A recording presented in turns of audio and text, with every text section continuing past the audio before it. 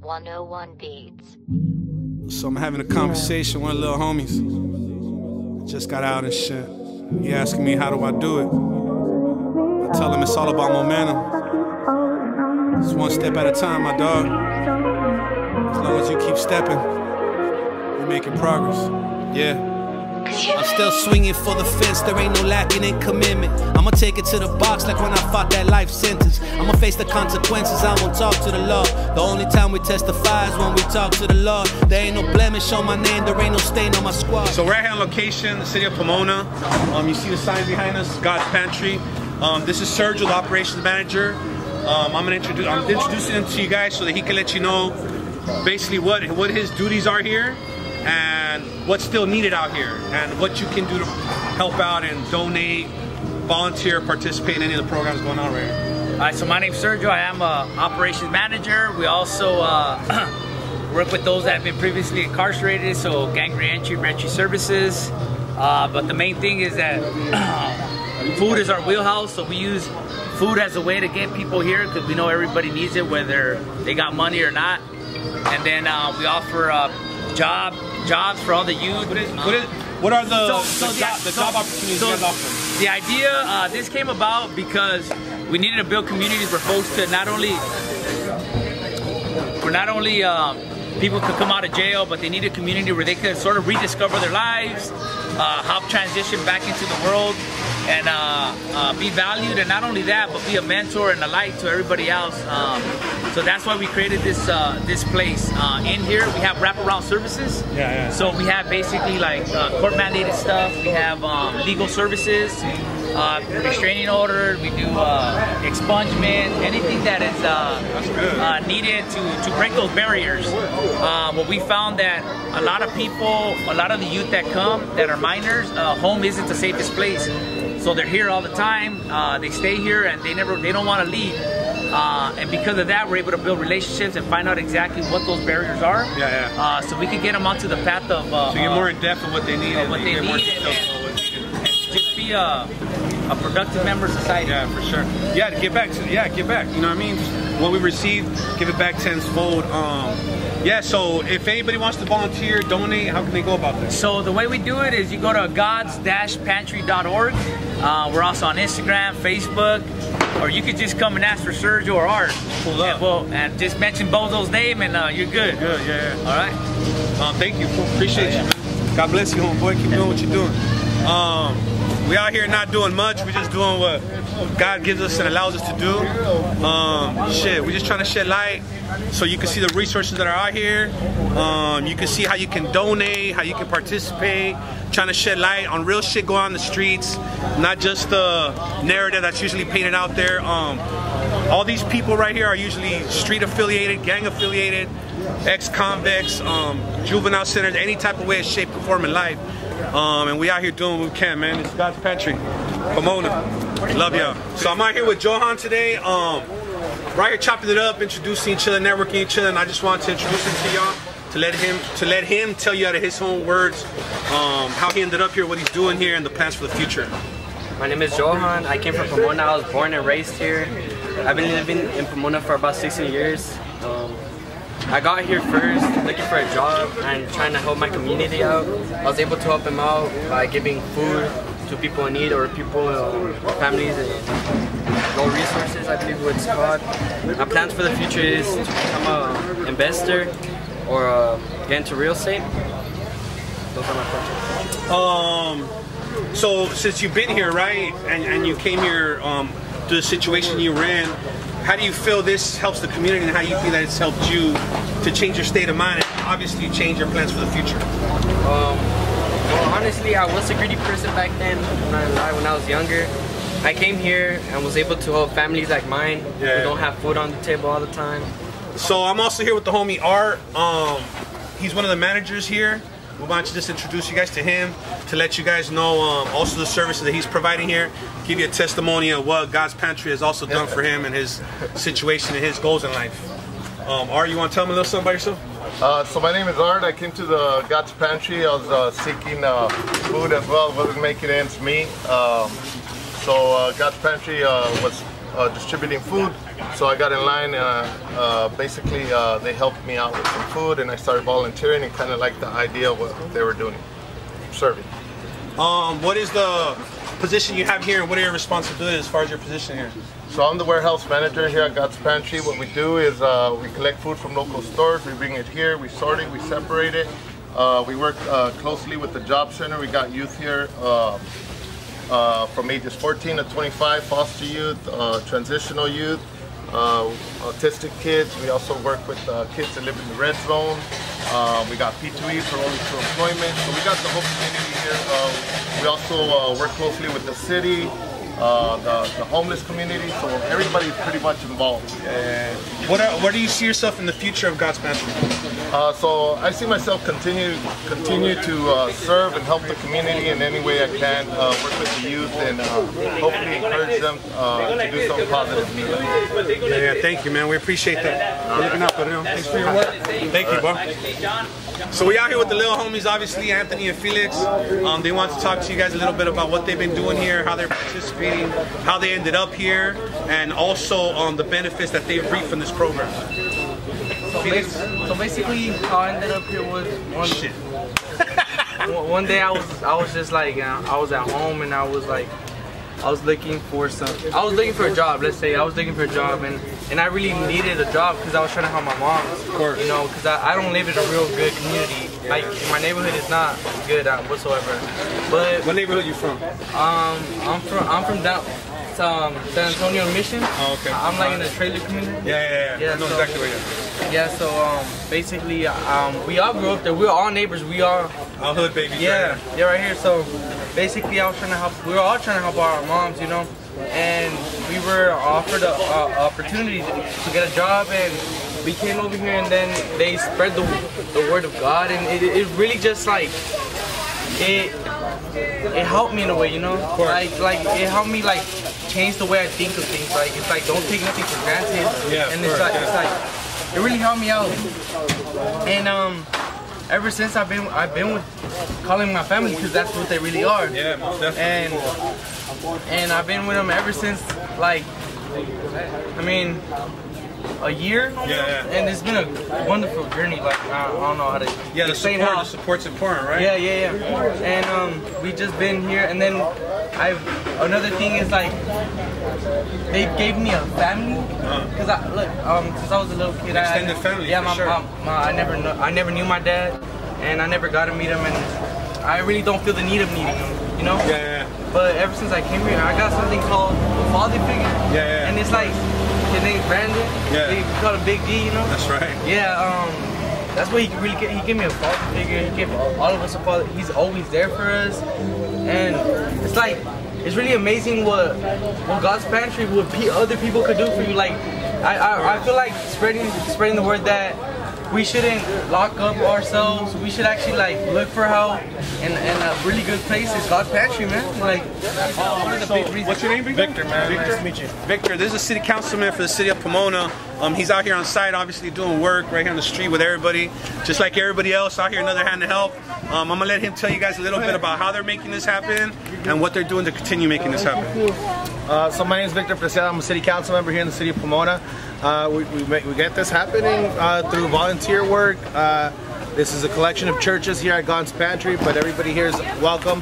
Always coming by. We, we get creative in what we're doing. We grow our partnerships with the school districts, cities, and uh, we identify those most in need.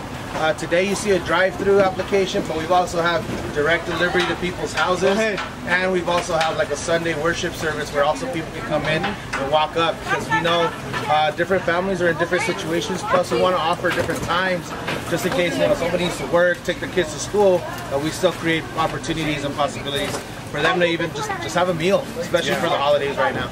Yeah, how long have you guys been doing this already? God's Pantry's been here for about eight years now. Well, we've been here for about three years. So Here, here, there's been a, in this direct actually like so this started with a teacher, Tom Sweeney, and he started off getting food out of the out of the back of his van. Through his vision, he got other people together, and they've been in this site directly for three years. uh, and I've been a partner here for now two years since about COVID started. And we've started to get, uh, man, we've, we've probably got 10 times bigger since COVID started. Yeah, yeah. Well, there's a need, right? So Absolutely. Obviously, with that's grown the community's gotten involved. People have helped out, and uh, we appreciate that, though, man. We appreciate your work. We One of appreciate the- your visit. One of the main things we do want to highlight is the need was there prior to COVID, but now it's just been amplified. Uh, and we've been able to now create the infrastructure together so that now in any situation, I am, I'm confident that a place like God's Pantry will be able to handle it. So come check them out and visit them. Yeah, and they'll most give you a tour so that you can do it at your city or wherever you're at. Definitely, most definitely. Thank you, bro. Gracias, Bozo. Man, likewise. Appreciate it, man. Appreciate you. I'm in a European whip with my hand on my Glock. We try and take the street money and invest in the stock. So my name is Mario and I get jobs for uh, foster youth. So if you have any foster youth ages 18 to 20, we'll hire on. Any youth that are on GR, if they're on the streets, they're not working, they're not going to school, they're 18 to 24, we hire them to work six uh, for six months. And then the big job we have is anybody who's on welfare. So if they have children, they're receiving CalWorks, they're getting cash aid and they want to work, we hire them to work uh, full-time 40 hours a week for 10 months. Uh, just call God's Pantry, we'll, we'll, uh, they get in contact with me and we'll hire everybody you got. And the programs are the whole county of LA, but I specialize here in the in this uh, Pomona Valley area. She's the legal assistant. She does the legal stuff. What's up, Doc? What's up, sir? And over here we have, uh, hey, George. Wait, wait, what do you do?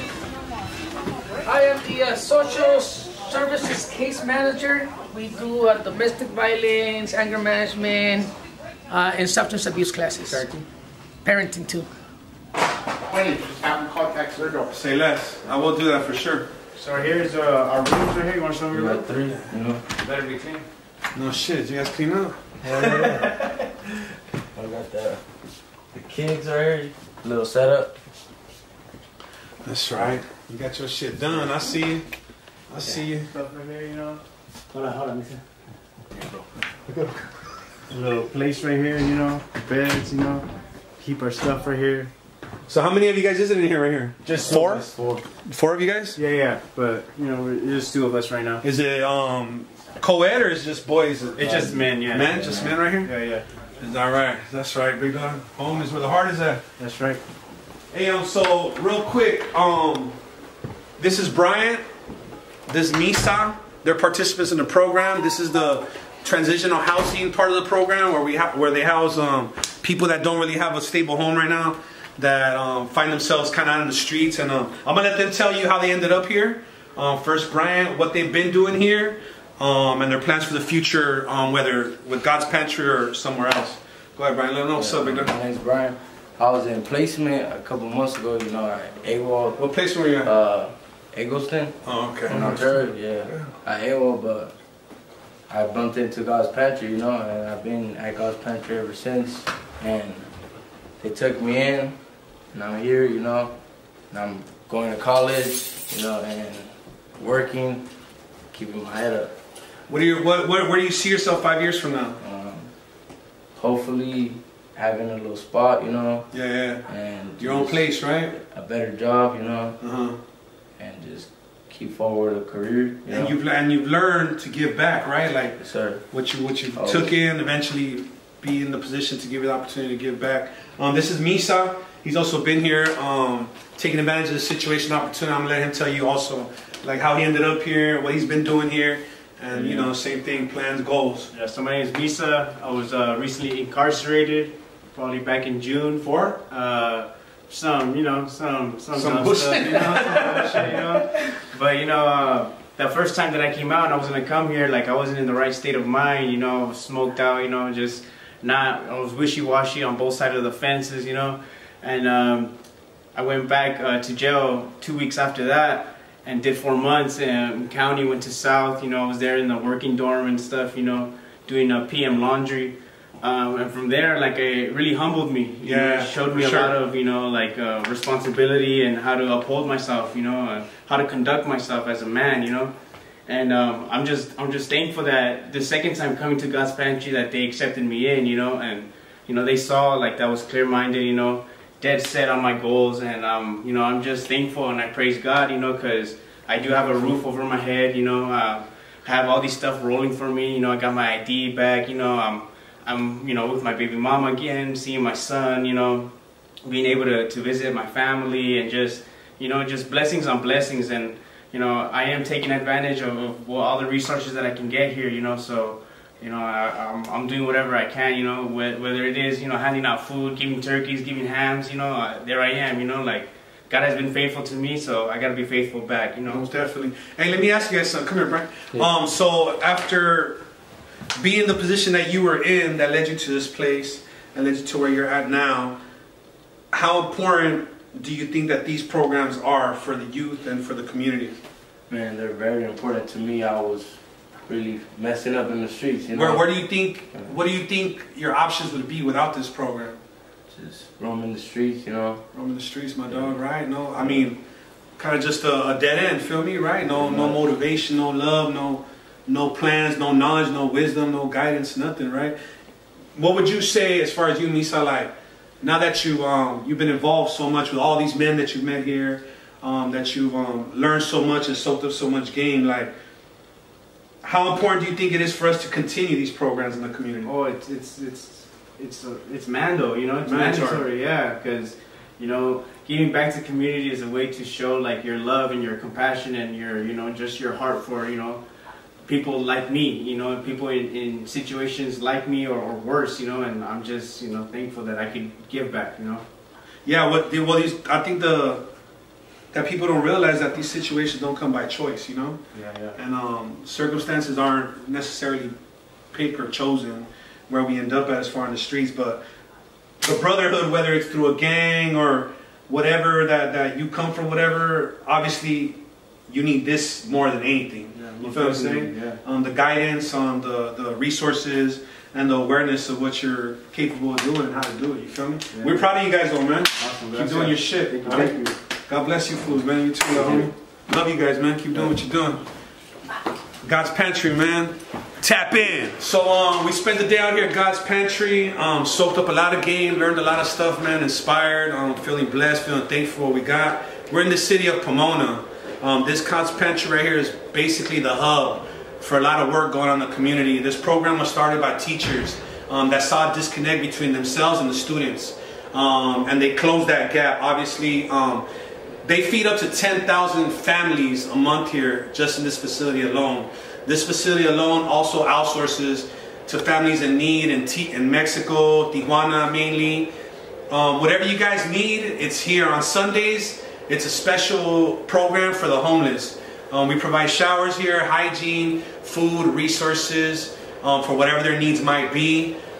During the rest of the week, you can find whatever you want here. Um, for any type of shape of life that you walk in, whether you're homeless, whether you're fresh out of jail, or whether you just need help and hope, God's Pantry is here for you, man. We, they try and do God's work out here. Um, and it's real out here. If you come out here, it's seven days a week, 365 days a year. The work don't stop, right? Yep. That's right. We out this morning. Oh, my bad. No cuss words. We out here, man. God, let, God bless. Can we do ours? Yeah, go ahead. Do yours. They want to say something. Uh, welcome to God's Pantry. Where where the helpers need help here so we can get money so we can have fun and help. And I'm a football player and a foot and a baseball player, so y'all give us a like. Peace out. Peace out. Girl, show me your heart.